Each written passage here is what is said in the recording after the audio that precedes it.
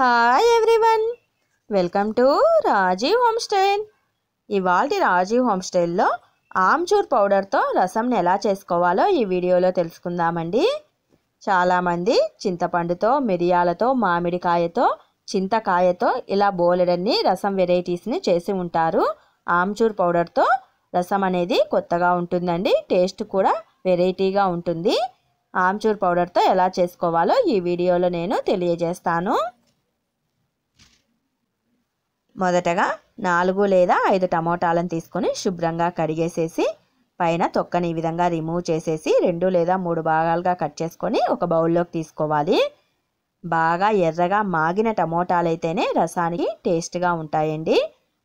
పచ్చి టమోటాల కంటే మాగిన టమోటాలే రసానికి మంచి టేస్టీని ఇస్తాయి.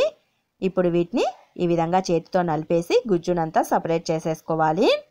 గట్టిగా ప్రెస్ చేస్తూ నలపాలి.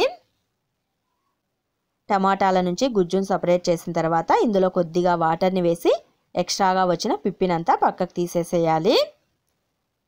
ఇప్పుడు ఇందులో కొద్దిగా పసుపుని అలాగే మన రుచికి తగిన విధంగా సాల్ట్ని రెండు టేబుల్ స్పూన్ల వరకు రసం పౌడర్ని వేసుకోవాలి. ఈ రసం పౌడర్ని కూడా ఎలా చేసుకోవాలో నేను మున్పటి వీడియోలలో చేసి ఉన్నానండి. డిస్క్రిప్షన్లో లింక్ ఇస్తాను. మీకు ఇంట్రెస్ట్ ఉంటే చూసి చేసుకోవచ్చు. ఒకవేళ చేసుకోలేకపోతే ఏదైనా బ్రాండెడ్ ఐటెం రసం పౌడర్ని వేసుకోవచ్చు. ఇది ఆమ్చూర్ పౌడర్ అండి. ఆమ్చూర్ పౌడర్ తినటం వల్ల మనకు కలిగే హెల్త్ బెనిఫిట్స్ని కూడా నేను మున్పటి వీడియోలలో చేసి ఉన్నాను. మామిడికాయ పౌడర్ ఇది. ఇది మనకు బ్రాండెడ్ షాప్లలో దొరుకుతుందండి ఈజీగానే. దీన్ని పక్కన పెట్టేసుకుందాము. దీంతో ఇప్పుడు రసాన్ని చేసుకోవాలి.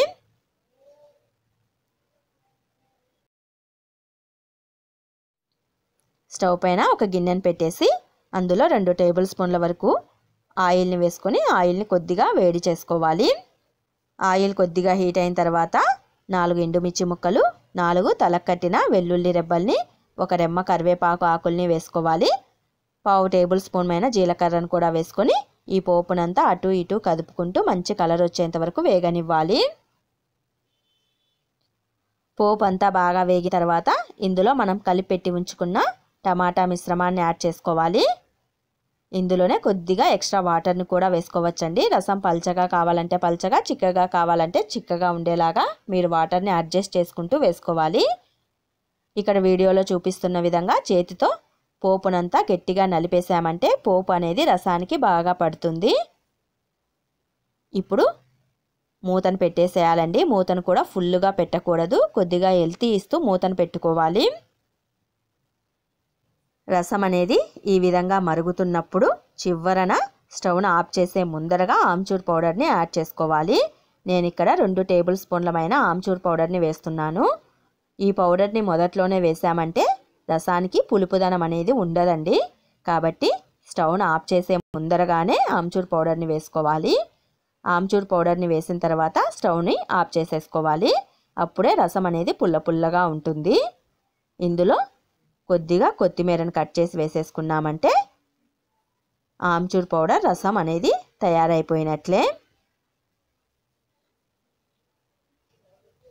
ఇంతేనండి మామిడికాయ పౌడర్తో రసాన్ని చేసుకోవటము. మామిడికాయ పౌడర్తో రసమే కాదండి పులిహోరాను కూడా చేసుకోవచ్చు. అది ఎలాగో కూడా నేను మున్పటి వీడియోలలో చేసి ఉన్నాను. డిస్క్రిప్షన్లో లింక్ ఇస్తాను చూసి చేసుకోండి. పులిహోర కూడా మంచి టేస్టీగా ఉంటుంది. మీకు ఈ వీడియో నచ్చింది అనుకుంటాను మరిన్ని ఇలాంటి వీడియోస్ కోసం వెంటనే మా ఛానల్ని సబ్స్క్రైబ్ చేసుకోండి. ఈ వీడియోని షేర్ చేయండి లైక్ చేయండి. అలాగే పక్కనున్న బెల్ సింబల్ని ప్రెస్ చేయటం మర్చిపోకండి.